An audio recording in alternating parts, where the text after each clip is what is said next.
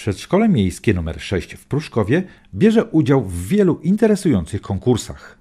Nasze przedszkole brało udział w różnych konkursach. E, Do takiego pierwszego konkursu należy Podróż do Mlecznej e, Krainy.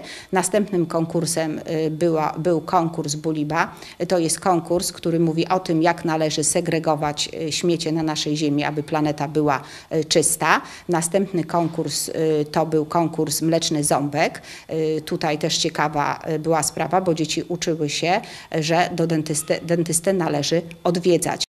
Ostatni konkurs związany był z projektem promującym picie wody wśród dzieci. Dzieci z grupy Kubusielandia, najstarszej grupy w naszym przedszkolu, wzięły udział w konkursie e, Mamo, Tato, Wolę Wodę. Mm, Konkurs ten miał na celu uświadomić dzieciom, jak ważna jest woda e, w funkcjonowaniu człowieka. Chcieliśmy pokazać dzieciom, e, jak trzeba oszczędzać wodę. Jest to bardzo ważne w dzisiejszych czasach. E, I podsumowaniem naszego projektu, naszych sześciu zajęć e, był... był konkurs e, Superwodny Bohater, którym chcę być. Wykorzystaliśmy do tego e, w pewien sposób rodziców. Rodzice przynieśli nam plastikowe butelki i stworzyliśmy dosyć dużego e, superwodnego bohatera. Odzieliśmy go w e, pelerynę superbohatera. No i tak nam się udało, że zwyciężyliśmy w tym ogólnopolskim konkursie. Nagrodą była magnetyczna tablica edukacyjna, która stała się elementem wystroju sali oraz częścią zabaw przedszkolaków. Konkurs był dobrą okazją nie tylko do promowania dobrych nawyków, ale także zdobywania nowej wiedzy. Dzieci dowiedziały się, czym jest woda i do czego jej używamy. To małe kropelki połączone, I po co ona jest ta woda? y, żeby y, żyć i żeby być silnym. Do czego jest potrzebna woda człowiekowi?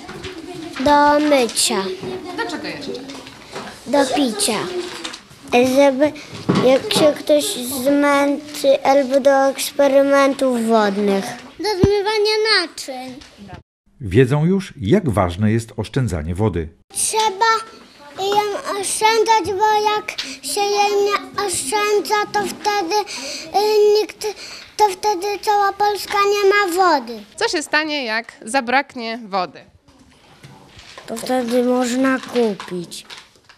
Rozumieją także, że woda to najlepszy napój dla człowieka. Woda jest bardzo czysta i zdrowa. że jak się biega dużo, to wtedy się poci i trzeba wypić wodę. I też jak się jest na treningu i, i jak jest przerwa na picie e, pół, pół, pół minuty, to, to trzeba się porządnie napić. jeszcze trzeba ją pić, żeby być zdrowym. Bo ma dużo witamin. Moja mama lubi wodę i trzeba dużo ją pić.